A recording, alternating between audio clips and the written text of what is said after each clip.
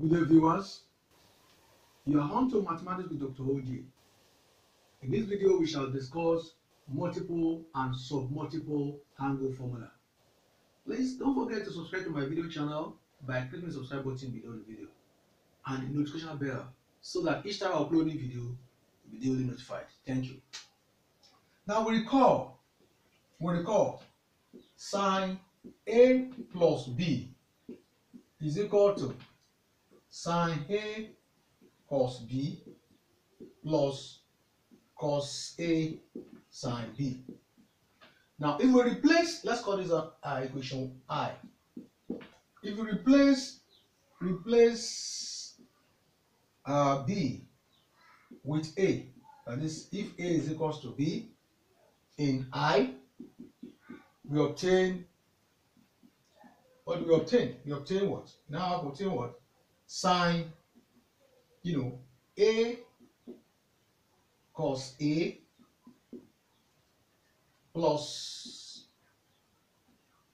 cos A sine A will be equal to what? Sine A plus A that we have here. That is to say that now sine 2A is equal to sine A cos A plus cos A sine that's what? 2 sine A cos A. So we can call this one equation high high. Okay? Now, uh, similarly, similarly, similarly, we recall, that uh, cos A plus B, you know, is the same thing as what? The same thing as uh, cos A cos B minus sine A sine B. We can call this one equation what? Equation high, high, high. Okay? Now, which implies by the time we do that substitution, uh, replacing replacing B with A with A in equation I, I, I, that's equation 3, gives, what does it give? It gives what? Cos A plus A is equal to cos A cos A minus sine A sine A, which gives cos 2A is equal to cos square A minus sine square A. Okay? We can call this one equation 4. Alright. Now, we are trying to form simplified version of um, multiple and submultiple angle. Okay? Now, recall, you can also recall, recall, recall that, recall that sine square A plus cos square A is equal to 1. I hope we can recall that. So, from here we can have sine square A, if it is made something a formula, be 1 minus cos square A. So let's call that one equation 5. Okay. Now, put 5 into 4. Can put 5 into 4 gives, you know, let's put 5 now into equation 4. It will give what? Cos 2a is equal to, now, cos square a minus sine square a is what? 1 minus cos square a. So that will give us what? Cos square a minus 1 then plus cos square a. So that is cos 2a is equal to cos square a plus cos square. That's 2 cos square a minus 1. So we can call this one equation what? 6. Equation 6. So the same thing can happen if we make cos square a the subject of formula, though the result will be different. We have a similar result. Now, from this uh, sine square a plus cos square a is equals to 1, if we make cos square a its own formula, note cos square A is equal to 1 minus sine square A. You know that? Yes. So, if that is the case, by now putting, uh, you know, this, let's, let's call this one equation 7. All right, let's call it equation 7 because we have had six uh, equations so far. Equation 7. Now, let's insert it into um, into equation 4. You know, originally equation 4 was cos uh, 2a is equal to cos square a minus sine square a. Okay? So, that is now putting putting 7 into 4. Let's put 7 into 4. We obtain or we get. By the time we put 7 into 4, you know we have 4 because 4 cos 2a is equal to cos square a minus sine square a. So now putting 7, where we see cos square a, you put uh, 1 minus sine square a there. So we have what? Cos 2a, you know, is equal to cos, this is now what? This is now 1 minus sine square a, then minus sine square a. So cos 2a now equals to 1 minus sine square a minus sine square a. That is what? Minus 2 sine square a. So we can call this one uh, formula or equation 8. Okay? Now, with this, we have obtained various, uh, you know, uh, formula that could be used when we're talking about multiple uh, angle formula. Now, let's look at the version of tan, you know, uh, of that particular multiple uh, angle formula. Now, we recall that, recall, recall, recall also that tan A plus B in our earlier result is also tan A plus tan B. You know, I hope you can still remember all over 1 minus uh, tan A tan B. I hope you can remember that. Good. Now, by the time we replace B with A, now let's put B is equal to A gives, so when you put uh, B is equal to, gives what? Tan, you know, A plus A, that's tan 2A is equal to uh, tan A plus tan A, you know, all over 1 minus tan A tan A. So this will be what? Tan 2A now will be equal to 2 tan A all over 1 minus tan square A. So let's call this one equation 9. Okay? Let's call that equation 9. All right. So now uh, that is uh, uh, that's about the tan version of uh, of uh, multiple angle. Okay. Now let's look at the submultiple angle in this respect. Submultiple angle. Since sine 2a is equal to 2 sine a cos a. We know that. Okay? Since sine 2a is equal to 2 sine a cos a. Now, replacing replacing a by, you know, half uh, of x. Replacing a by half of x, that is half x, gives what? So now we want to look at the the version of uh, submultiple angle. By the time we replace a in the in the in the one we have just uh, gotten, we replace uh, b with a so as to get multiple. That is what multiple means when you, it is being multiplied when it expands more than the usual version. Now this time around, now we now want to look at if we can have the subdivision of the multiple version we have obtained. What what would it look like? So now since two sine 2a is equal to 2 sine a cos a, now if we replace a here by half x, what do we have? So that will be what? Sine 2 multiplied by half x, because that's what, what we have just saying. And we, we, we have just said. That's what we are saying. Replace uh, a by half x. So that will be what? 2 sine A is what? Half x cos half x. So this will be what? Sine x is equal to 2 sine half x cos half x. So we can call this one equation 10. Okay. Now let's look at this. What happens to cosine as well? Okay. Now, for cos 2a, cos 2a, it should be noted that, um, let's write it there. Let's write it here. For cos 2a, for cos 2a, since, since cos 2a is equal to cos square a minus sine square a. Okay, going to be expanded more than that from what you did some time ago.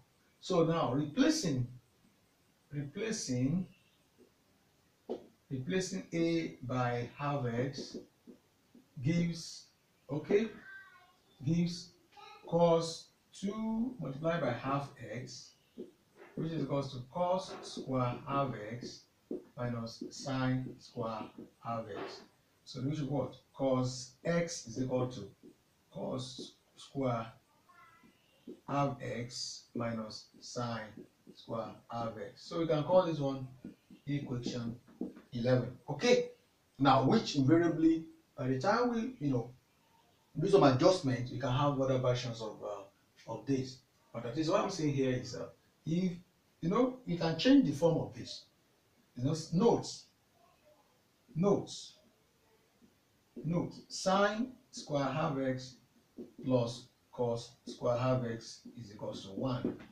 So by the time we now want to get uh, either sine square half x as the subject of the formula or cos square half x as the subject of the formula, you see what's going to happen here.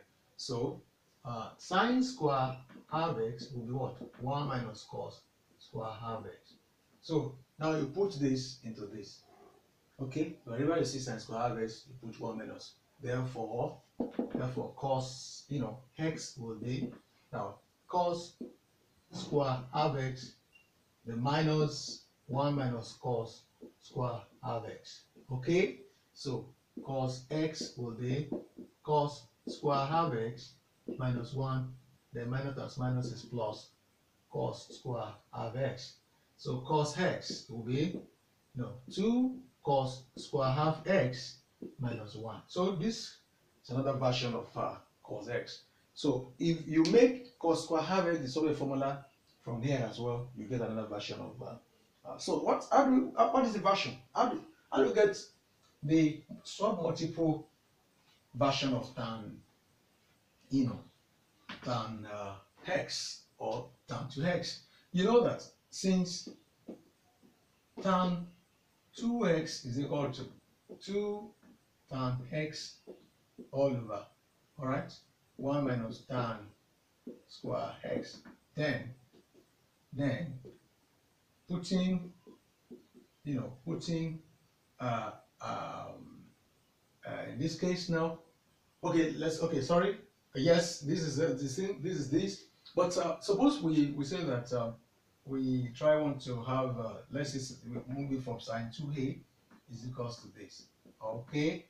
Now, just like we have in the, in our previous cases, so then putting a is equals to have uh, x, okay? Then we have, okay, then it's not needed there again. Then putting a equals to have gives, okay, gives what?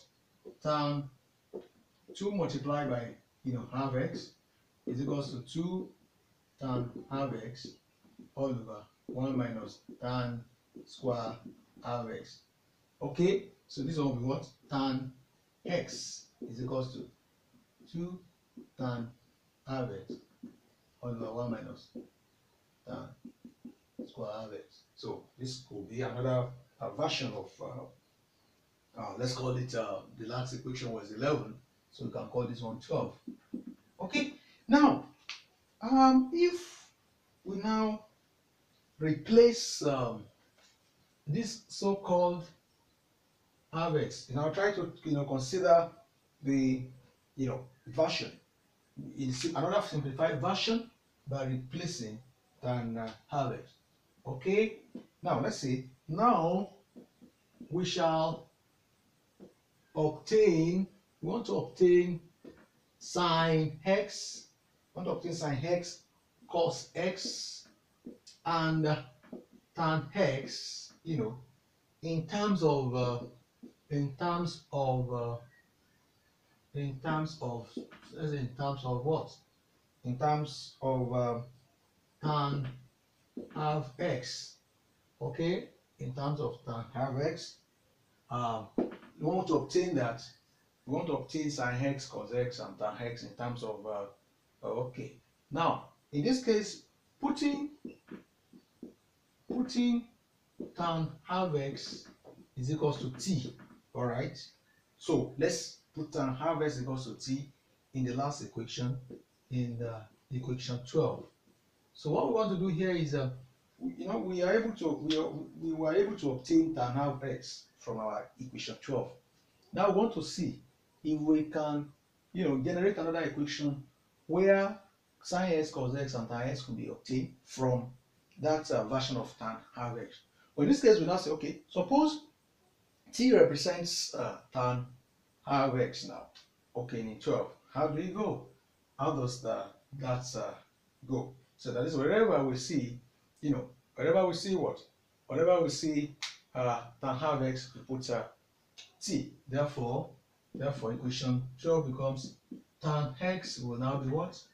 2 t because tan half x is replaced by t all over 1 minus uh, tan you know tan square half x and we have tan half x is equal to t so that will have what that's uh, 1 minus uh, t square okay because tan half x is equal to t so tan square half x will be equal to uh, t square so this is another version of uh, submultiple handle now let's look at how we can get a version of uh, sine x from there.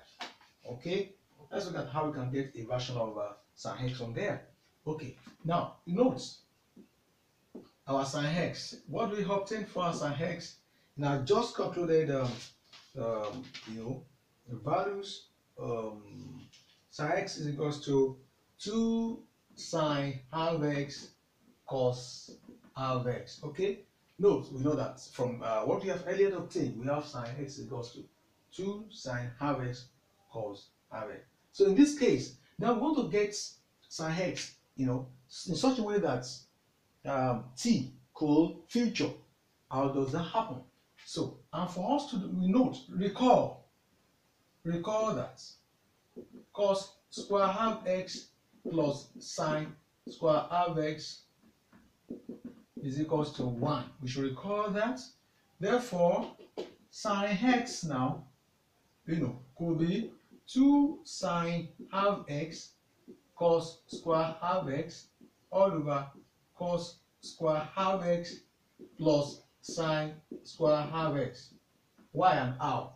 Uh, what we are trying to do here is we actually want to have an expression that will contain tan half x such that we'll be able to replace that tan half x uh, by t. That's what we are trying to do. And you know, sine x is the same thing as 2 sine half x cos half x all over 1. And so instead of writing 1, we could equally write cos half x plus sine square half x. Okay, that's what we just done here. Now, now say divide. Dividing the numerator and denominator denominator by cos square half x. Now, want to divide the numerator of that expression and its denominator by cos square half x. Let's look at what it's going to give us. Okay, that implies sine x will now be 2 sine half x cos half x all over cos square half x all over. That's the statement. Cos square half x all over cos square half x plus sine square half x all over cos square half x. Okay, so now this one we cancel only one from here, so it will, we left it to uh, cos half x because we have square it here. Okay, now this one will be one and this one will be tan square half x. So now sine x will be 2 sine half x all over that. You know, sine half x all over cos half x. That's what? Tan half x all over. I hope you understand. Okay. Because sine x over cos x is tan x. Sine half x over cos half x will be tan half x. Then this one is 1, then plus. Now, sine square half x all over cos square half x. That is what? Tan square half x. So, now replacing tan half x by t now. So, now say replacing, replacing tan half x by t gives, so by the time we replace tan half x by t, uh, gives what sine t, sine x equals to 2t all over 1 plus t squared. Okay, 2t all over 1 plus uh, t squared. So next is now to go for uh, cos uh, x. Okay, let's look at how we get uh, cos x. Now for cos x, for cos x, now say recall, recall for cos x, recall, recall cos x is equals to cos square half x minus sine square half x.